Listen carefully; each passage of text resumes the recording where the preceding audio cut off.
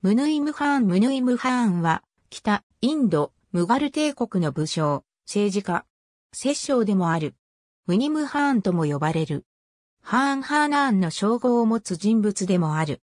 ムヌイムハーンとハーン・ザマーン・ムヌイムハーンは、ウズベク人、ミーラーン・ベグ・アンディジャーニーの息子として、アンディジャーンで生まれた。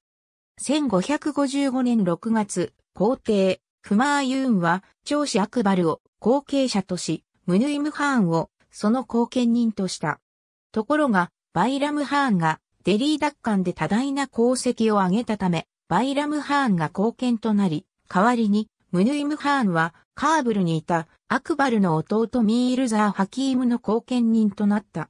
第二次パーニーパトの戦いの後、権力を欲しいままにしていたバイラムハーンの失脚計画に加わり、アクバルの乳母、マーハム・アナガの要請により、ムヌイムハーンは、バイラムハーンがミールザー・ハキームを利用しないよう彼を連れて、デリーに赴いた。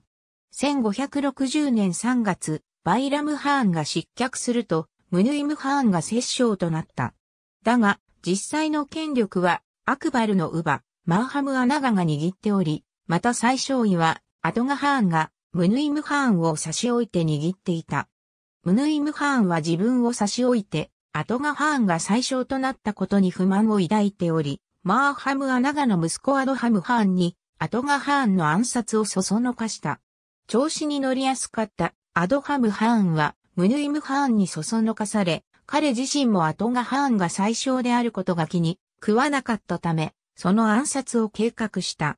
1562年5月、ムヌイムハーンにそそのかされたアドハムハーンは、アーグラ城の高越殿で、ムヌイムハーンと会合をしていたアトガハーンを探検で刺し殺した。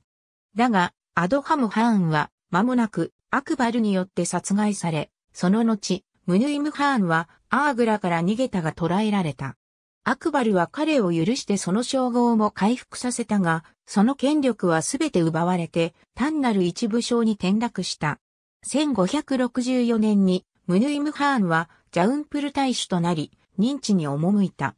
1574年秋、ムヌイムハーンは葬式としてベンガルスルターン朝への遠征に当たったが、トーダルマルが副将として作戦、軍律の指揮に当たった。また、ラシカルハーンやイティマードハーンも派遣され、観察の役割を果たした。同年9月25日、ムヌイムハーンはベンガルスルターン朝の首都ターンダーを占領した。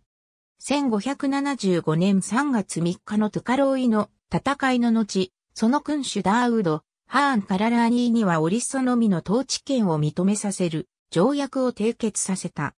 その後、ムヌイムハーンはターンダーからガウルへと移った。同年10月23日、ムヌイムハーンは流行していたペストに感染して死亡した。死後、ダーウードー、ハーン・カララーニーによってガウルが奪われた。